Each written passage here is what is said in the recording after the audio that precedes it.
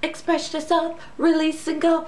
Drop the mic and let it go. Now make it bounce, bounce, bounce. Now drop it, now drop it, now drop it, now drop it. Alright, so what's up guys? I have some great K-pop finds for you in this video. This first top is just like, it's not real one but just like the Jeremy Scott Simpson top and bottoms that 2NE1 has been rocking for a while. But this one I actually got from Supermarket which is a store or brand that's in conjunction with Joy Rich.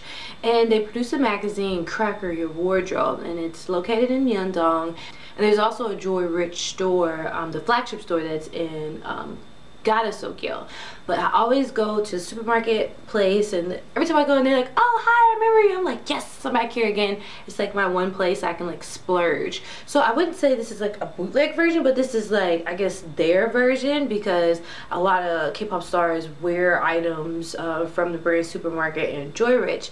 Now this one, um, pretty sure it's probably not as expensive as the Jeremy Scott version, but I mean, it's a little pricey depending on what you want to pay for a shirt but you can rock it and I mean nobody will know that's not Jeremy Scott. So I found that one there at supermarket and if you go to the blog post I'll have the directions of how you get to supermarket in Myeongdong.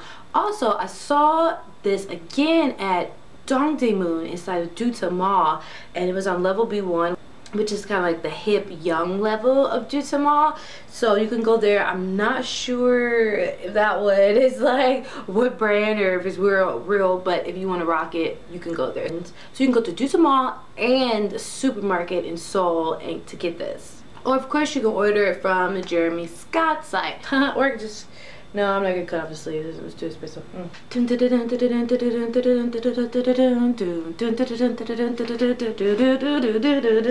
Muri ake muru pow swag check swag check. Okay. I was so happy to get this when I finally saw this bootleg. I was like, yay! But I mean, like, technically, G Dragons is bootleg too, so we all just gonna be bootleg. Um, they actually sell this in Myeongdong too. The street vendors on the street, you know, you could just do, do, do, do, do. oh I want that um, I only saw this at one street vendor though so maybe the other ones haven't got it yet it was 23 but the girl gave me a discount for 20 I was happy. I've been really, really wanting this hat because it just represents like when you wear it, everybody knows, oh yeah, she loves G Dragon. she represents G Dragon. She loves Big Bang. So my Big Bang hat collection it will be complete pretty soon. It will be complete. And I'm about to order, if you guys remember um, GDTOP's Japanese release of Oh Yeah, Oh Oh Oh oh yeah. Okay. Their Russian naval hats from there. Are actually back in stock on patriciafield.com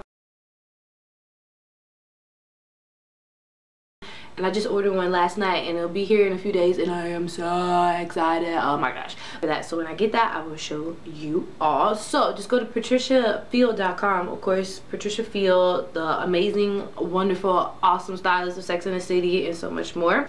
You can also go to patriciafield.com to get the Vogue hat that G Dragon wore in the latest March Vogue issue with Taeyang. Patricia Field site even has pictures of GD with the hat on on their site. So it's so wonderful and cool that they know um, who G Dragon is. So if you want the Vogue hat, it's not it's not expensive or if you want the naval hat, really not expensive at all. So you can rock and be looking like GD and top. Okay?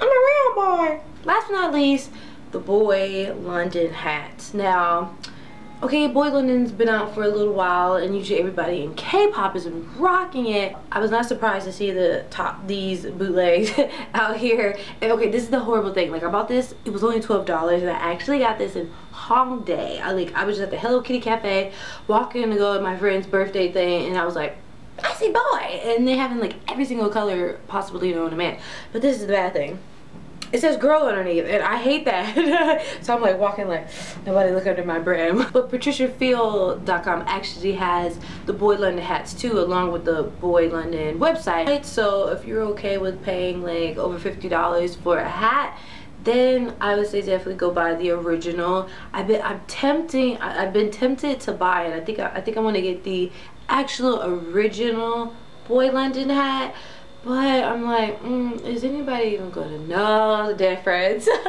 because there's so many bootlegs out there, they're just like, oh, that's probably a bootleg one.